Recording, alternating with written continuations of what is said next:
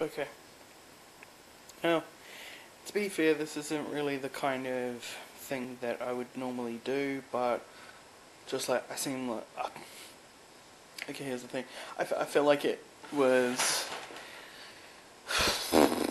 Uh, I feel like it was super unprofessional of this guy and whatever. Um, okay. So these are these are pizzas that I just ordered from Domino's. Obviously, it's, it's got Domino's on it.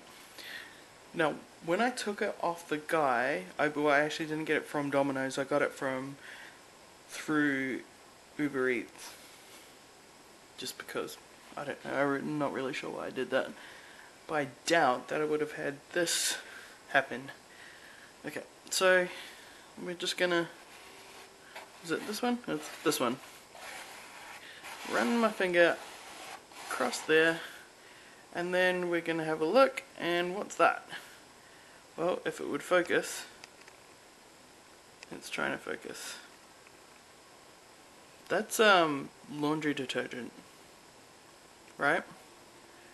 Okay. well, in here, that's a smash pizza. So, oh, I swear this detergent stuff's killing me off.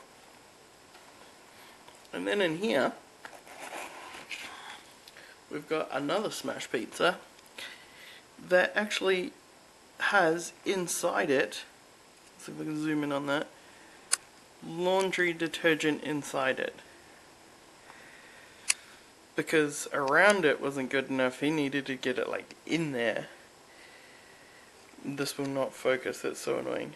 Okay, well you can kind of see it's in there. You can see it's in there. Like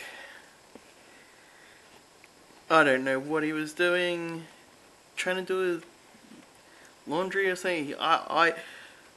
I think maybe he took a like, look, that's a massive chunk of unbroken laundry detergent right there. Well, look, there's little crack rocks of detergent in there as well. Like, that is absolutely ridiculous. Like,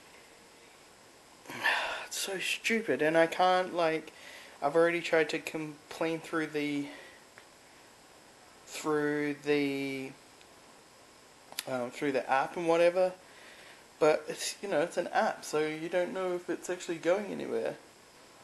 Meanwhile, I can't eat this. It's it's contaminated. It's got bloody chemicals in it.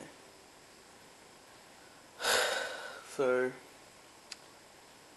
I guess I'll order something else then. Stupid.